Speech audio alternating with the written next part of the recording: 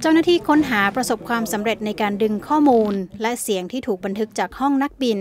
ของเที่ยวบินของสายการบินเยติแอร์ไลน์ที่ตกในวันอาทิตย์ และมีผู้เสียชีวิตอย่างน้อย 69 คนที่ประเทศเนปาลกลับมาใช้ในการประกอบการสืบสวนได้แล้ว ตามรายงานของ AP เที่ยวบินลำดังกล่าวมีผู้อยู่บนเครื่องทั้งหมด 72 คน และเจ้าหน้าที่คาดว่าผู้ยังไม่ถูกพบ 3 คนน่าจะเสียชีวิตแล้วเช่นกัน รื่องบินลำดังกล่าวออกจากกาดมันดุ และตกขณะบินเข้าใกล้สนามบินเมืองโพคารา ที่เปิดทำการได้เพียงสองสัปดาห์ ผู้เห็นเหตุการณ์กล่าวกับ AP ว่า ลักษณะการบินของเครื่องบินลำนี้ ซึ่งเป็นรุ่น ATR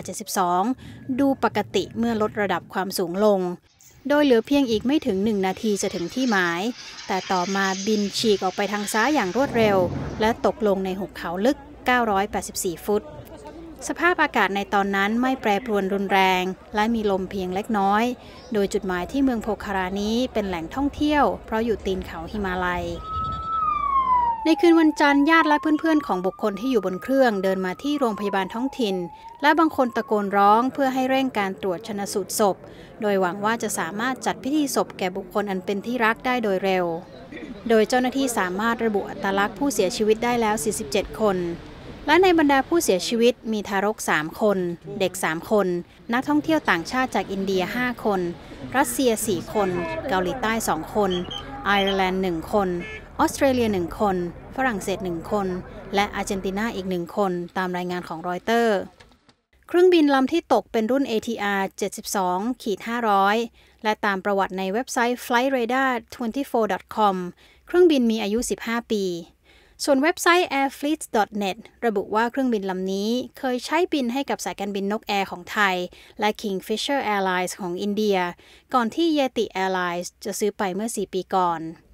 บริษัทเครื่องบิน ATR ไม่ตอบกลับผู้สื่อข่าว AP เมื่อถูกขอให้แสดงความเห็น เหตุเครื่องบินตกในครั้งนี้นับเป็นเหตุเลวร้ายที่สุด นับตั้งแต่ปี 1992 อ้างอิงจากฐานข้อมูลของเครือข่ายความปลอดภัยด้านการบิน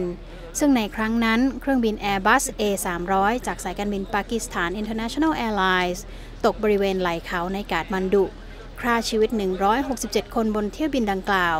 ขณะที่ทางสหภาพยุโรป สั่งแบนสายการบินของเนปาล ไม่ให้บินผ่านน่านฟ้าของกลุ่มประเทศ ในสหภาพยุโรปตั้งแต่ปี